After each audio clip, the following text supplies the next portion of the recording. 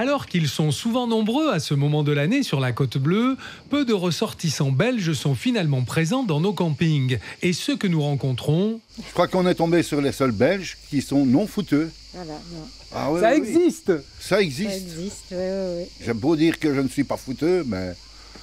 Non, cette fois, on va main. gagner. Cette fois, on va gagner. Bon. Allez, Ah, voyez, madame, elle s'intéresse au foot. hein. oui, un peu. Eh, Moi pas. Mais si la Belgique gagne, vous êtes content ou pas? Ah, naturellement. Elle, oui, moi, euh, mais complètement équilatéral. Véridique. Que le meilleur gagne. Voilà. C'est tout ce que je peux souhaiter. Sur la terrasse d'un autre bungalow, trois amis venus des Hautes-Alpes sont déjà à l'apéro. Vous allez regarder le match ce soir? On va le regarder, bien sûr. Qu'est-ce que vous pensez du score là?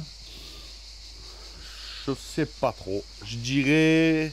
J'aimerais bien 2-0 pour la France, mais ça, c'est moins sûr. hein. J'espère qu'on va avoir du beau foot parce que jusqu'à maintenant, la France, elle nous régale pas. hein. Faut le dire, hein, euh, ça serait le temps qu'ils se mettent à jouer. Quoi, hein. Surtout marquer parce qu'on n'a pas marqué un but pendant une action de jeu. Quoi. Et les Belges, ils vous font peur? Non, absolument pas, on est leur bête noire. Ils vont perdre comme d'habitude. Bon, la France va gagner.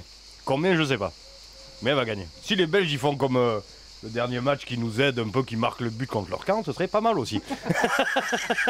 Bon, on n'est pas chauvin, mais Allez, santé, à la, à la France